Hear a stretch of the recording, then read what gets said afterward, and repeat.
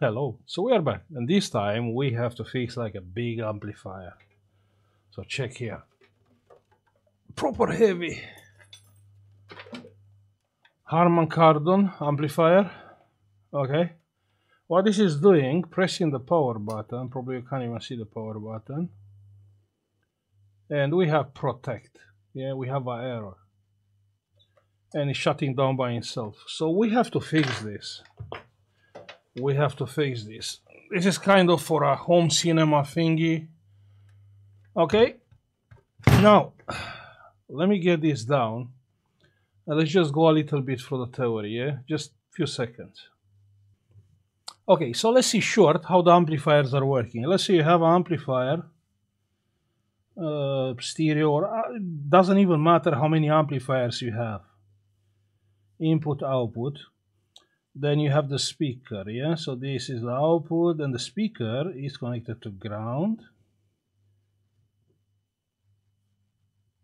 But from amplifiers you have plus and you have minus yeah? You have differential power supplies. Minus. The outputs are monitorized yeah? The output they don't have capacitors on the output and uh, both they are monitorized for the voltage yeah? So if you have voltage on the output you'll burn the speaker. So that's what it's about the protection you only have a protection writing on the amplifier or a led yeah? It's all about the output voltage yeah? It's not supposed to be voltage on the output. Now taking down one amplifier how it will be on one amplifier? You have plus you have ground because you have differential power supply and you have minus okay? Now on the end of the amplifier and this is on the all amplifiers even if you have a chip there or not on the end you will have a transistor right?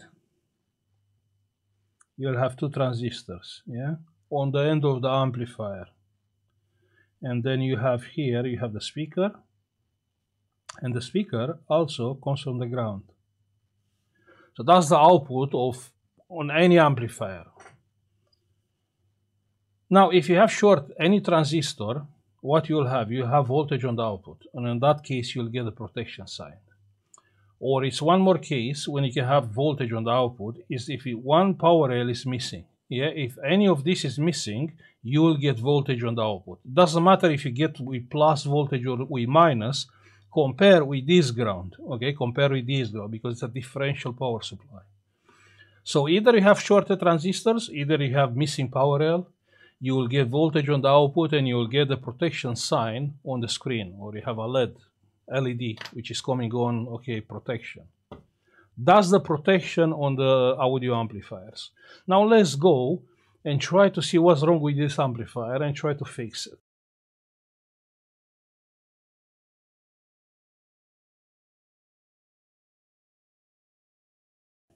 Wow, you see this is a nice one. I love audio amplifiers, especially this one, like kind of old. You have a linear transformer, you have a classic audio amplifier. It's no switching on this uh, on this amplifier. And obviously there is a reason why it's not switching on an audio amplifier. Okay, looks great. We have one fan here, one fan here. I don't like fans I expect to see a big heatsink, but obviously a big heatsink is heavy. So what we can check here, we have a bunch of power supplies, yeah, so these probably are low power. And the heavy ones, yeah, are here, are on this side, you know, for the audio amplifier or not.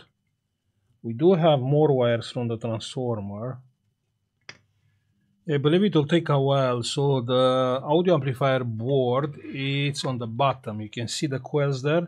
So those coils are on the output. So before the speaker you have a coil. And I can see the standby transformer is there, but that one is good. So I believe we have to remove some things and uh, test. The power rails are there. Yeah, I believe we have to remove from uh, few boards to have access to the, to the bottom board. I'll see you in a minute. Okay, so we made some space here.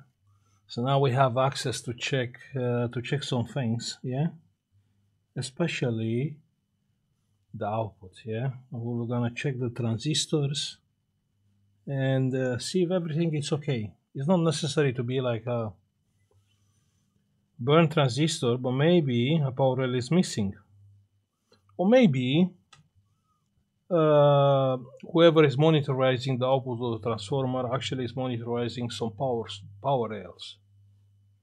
Like from preamp from uh, different uh, parts of the circuit. Okay so uh, I pick up the, the thermal camera. Because with the thermal camera uh, you know if you have a shorted transistor a shorted uh, output we should see that and indeed some interesting things here.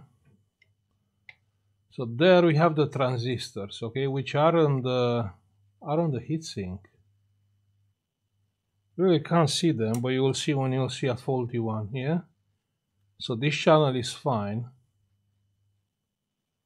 But this channel, look at the transistor, you can see it? Look at the, those resistors from the from the board. But you can see the transistor, even if it's on the heatsink, you can clearly see him.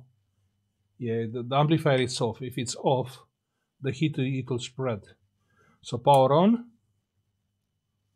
Check the transistor. You see that one from the heatsink? Just ignore the resistor. I can see the resistor are burning hot. But the transistor are normal to be like this, to be cold. I mean, it's no audio input. So there is no reason for a transistor to be, look, it's getting hot. You can see it?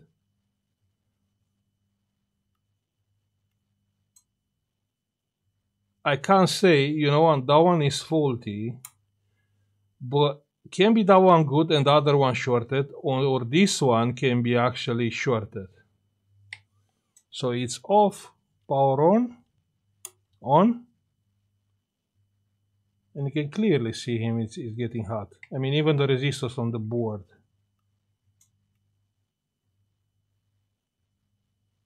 Yeah, so here is something wrong. Now, replacing the transistors, it's a different story. Not sure if it's worth. I mean, for the money was this booked in because this is not expensive. Right now, probably you can buy for like 200, 300. And this job is cheap. I don't think it's worth to be repaired it's a lot of work. We have to order spares. It's a lot of work carrying here.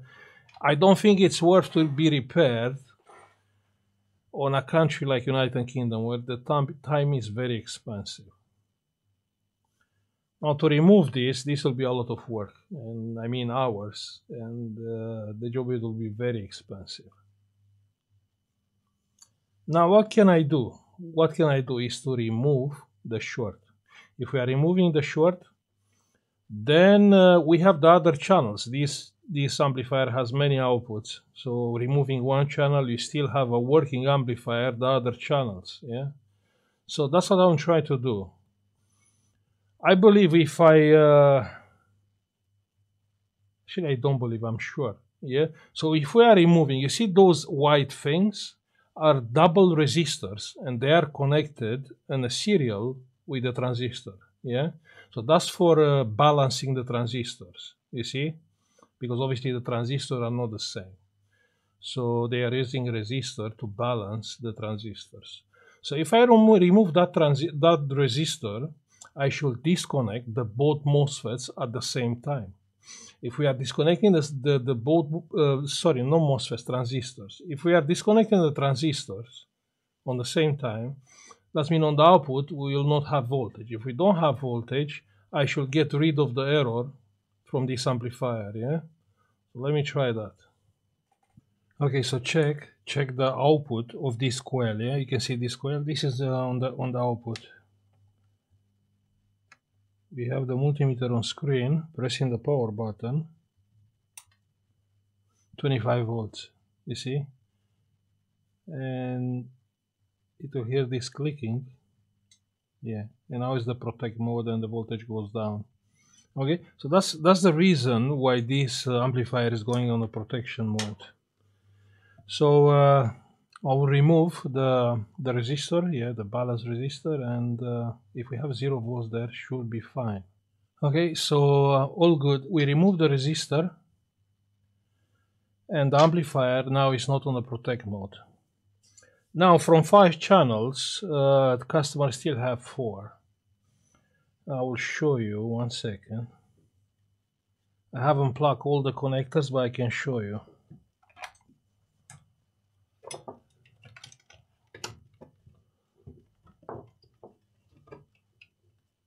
Yeah, let me plug it.